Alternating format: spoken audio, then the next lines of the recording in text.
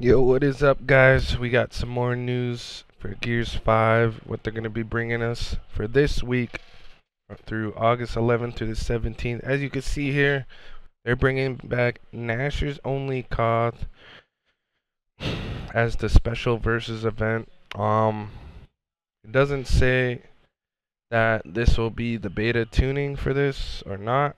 I do enjoy Gnashers Only. Um, I don't know if they did that on purpose with the K there, but um, but okay. But um, yeah, if it's not the beta tuning, then I'm not gonna play it.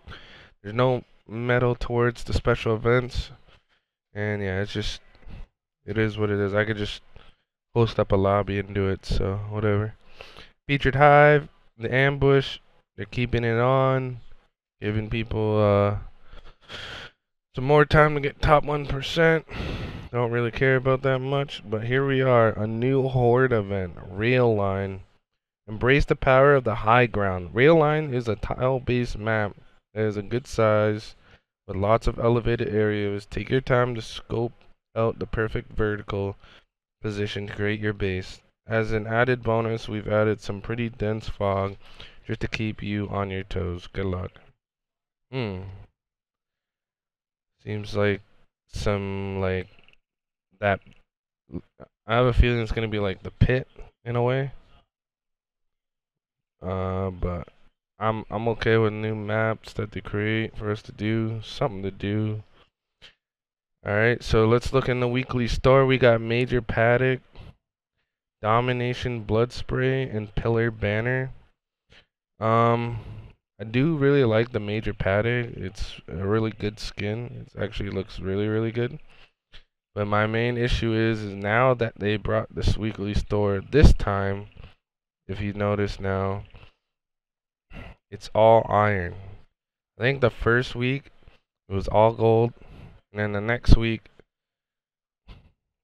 they made this only iron and the character gold, and now it seems like the characters all go all, all iron, like everything that's new is gonna be iron. But to be honest, um, from in the history in the past, if you wait another week, you could get this for gold. Pretty sure that would be like 4,000 gold, and this would be like nothing. So just wait a week. You don't have to use iron. Just use your gold if if history repeats itself.